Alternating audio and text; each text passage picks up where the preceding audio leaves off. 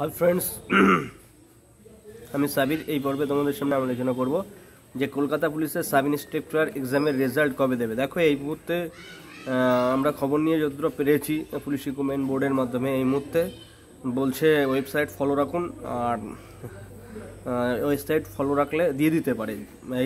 Website follow রাখুন আর যে কোনো মুহূর্তে হয়তো রেজাল্ট দেওয়ার সম্ভাবনা থাকতে পারে।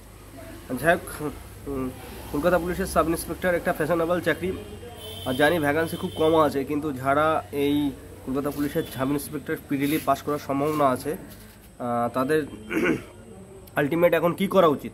আমার মনে হয় তো রান করা উচিত, কেন এরপরে রান হবে, এরপরে মেন এক্সাম হবে। যাই হোক যারা যারা বলছিল যে কলকাতা পুলিশের সাব ইন্সপেক্টরের রেজাল্ট কবে দেবে, তাদের উদ্দেশ্যে আমি বলছি বস চিন্তা না করে এইটুকু বলতে পারি ওয়েবসাইট ফলো রাখুন। আর যেদিন রেজাল্ট দেবে, অবশ্যই দেখতে পাবেন, আর রেজাল্ট দিলে অবশ্যই পাস করলে কমেন্ট করবেন। আপনারা কিন্তু সাব ইন্সপেক্টর হতে যাচ্ছেন কলকাতা পুলিশের।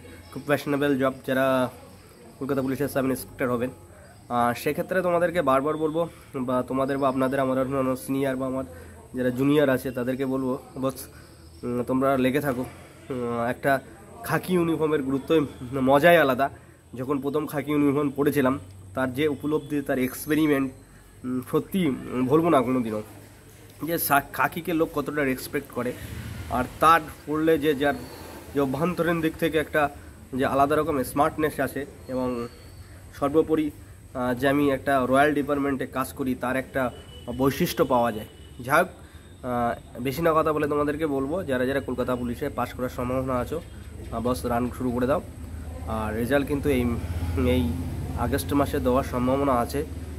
সেই হিসাবে বলি, যে দেখো, যেহেতু কদিন আগে সিভিল ডিফেন্সের সাব সিএসআই ওর রেজাল্টটা পাবলিশ হয়েছে।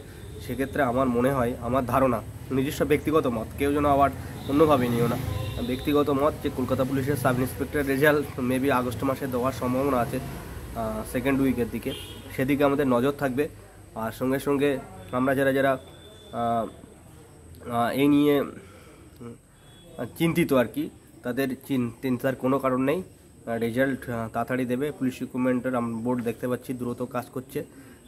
বিভিন্ন বিষয়ে তারা সক্রিয় এবং রেজাল্ট দেওয়া সক্রিয় এবং নিয়োগ করা সক্রিয়। তাদের একটা অ্যাক্টিভিটিস আছে। সেক্ষেত্রে বস বলব আপনারা ওয়েবসাইট ফলো রাখুন এবং ভিডিও দেখতে থাকুন। আর আমার ভিডিও ভালো লাগলে কমেন্ট করবেন। সাব ইন্সপেক্টর যারা এক্সাম দেবেন, নিশ্চয়ই আমার ভিডিও ভালো লাগলে কমেন্ট করবেন এবং সাবস্ক্রাইব করবেন। আর সর্বোপরি ভালো থেকো তোমরা। এখন প্যান্ডেমিক সিচুয়েশান আপাতত কম আছে মাস্ক ব্যবহার করো, তাও বলব। আলটিমেটলি তোমরা ভালো থেকো। আর আমরা আগামী দিনে সবাই যাতে ভালো জব পাই সেই প্রার্থনা করি। All the best